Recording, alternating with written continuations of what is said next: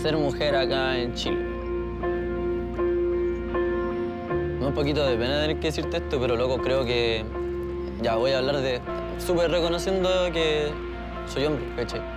Yo puedo tratar de tener empatía y todo, pero nunca voy a poder decir exactamente qué se siente.